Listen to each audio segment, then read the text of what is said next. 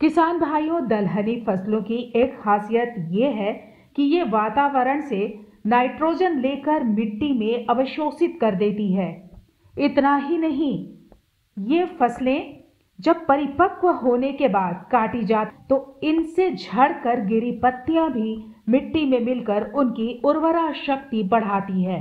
अरहर की फ़सल या कोई भी जो हमारी दलहनी फ़सल जो होती है उसको जब हमारे किसान भाई खेत में लगाते हैं तो स्वाभाविक है कि मिट्टी की उर्वरा शक्ति बढ़ती है। उसका कारण मुख्य रूप से दो है।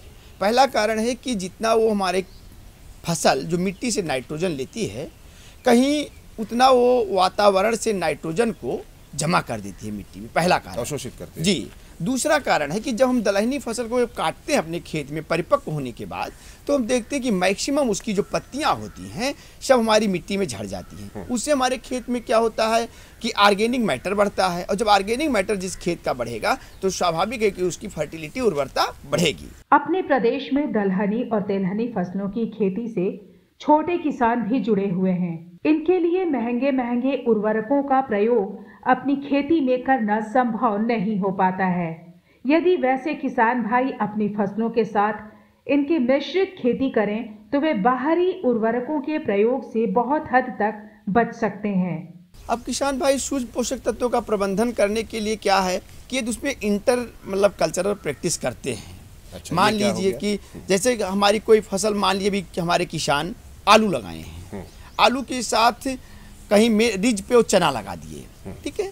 उसके साथ साथ यदि मान लीजिए हमारे किसान भाई बहुत सारे देखते हैं सरसों लगाए हैं सरसों के बीच में चना लगा दिए। तो इस प्रकार से एक हम्म। दूसरे मटर भी लगा मटर मटर के साथ भी सरसों लगा देते हैं हमारे किसान भाई। बहुत सारे किसान गेहूँ के साथ हमारा सरसों का मिक्स क्रॉपिंग करते हैं। तो इससे क्या होता है कि उसमें जो सॉइल की फर्टिलिटी है उससे इम्प्रूव करती है। किसी फ़सल को ज़्यादा चाहिए किसी फ़सल को कम चाहिए। कोई डीप रूटेड हमारी फ़सल होती है कोई सेलो रूटेड होती है तो इस प्रकार से पोषक तत्वों का थोड़ा समावेश तो होता है।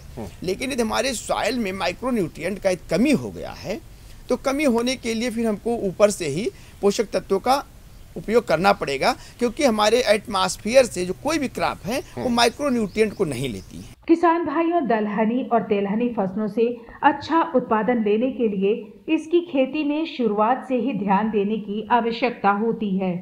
इसके लिए ये ज़रूरी है कि किसान भाई ज़्यादा उत्पादन देने वाले बीज का चयन करें। फिर मिट्टी जाँच कराने के बाद ही उर्वरकों का प्रबंधन करें। किसान भाइयों को सबसे बड़ा हमारा सुझाव यही है कि पहली तो यदि पोषक तत्व का प्रबंधन करते हैं किसी भी क्रॉप में।